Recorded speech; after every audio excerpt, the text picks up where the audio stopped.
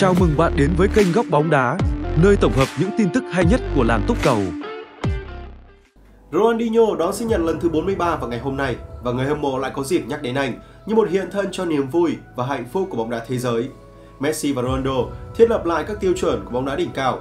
Ngay cả mùa giải có hiệu suất ghi bàn tốt nhất của Ronaldinho ở châu Âu cũng không thể sánh được với bất cứ thành tích ghi bàn nào có bộ đôi kể trên đã tạo ra trong 13 mùa giải. Tuy vậy, cả Messi lẫn CR7 đều không thể nào tái hiện được cảm hứng mà Ronaldinho đã từng có. Thứ đó không đong đếm được bằng số năm thi đấu, số bàn thắng, số kiến tạo, số cúp, số quả bóng vàng. Nó chỉ có ở những nghệ sĩ sân cỏ dường như độc nhất của Ronaldinho.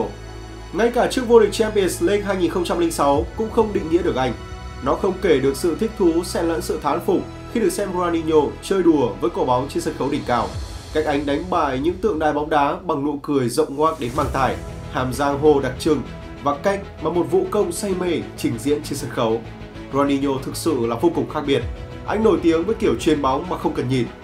Anh xử lý bóng bằng những giải pháp độc nhất với cái hông vô cùng dẻo, liên tục đổi hướng và sẵn sàng tâng bóng vào đầu đối phương nhiều lần như để trêu đùa.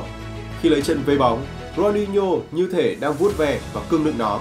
Những pha chạm bóng ma thuật khác cũng dẫn tới những quả kiến tạo đầy nổi tiếng.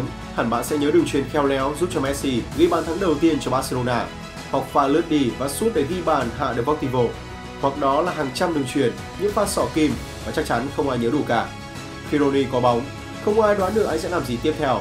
nhưng bàn thắng hạ Chelsea tại Stamford Bridge khi anh đang đứng yên, đó là một khoảnh khắc ít người từng chứng kiến ở trong đời và sau khi họ đã chứng kiến nó rồi thì sẽ không bao giờ được xem lại một lần nào nữa. Bóng đá của thời hiện đại đã thay đổi quá nhiều và có lẽ sẽ không còn cầu thủ nào tạo ra được thứ cảm xúc đặc biệt, mãnh liệt như Ronaldinho đã từng làm được. Video được tài trợ bởi FB88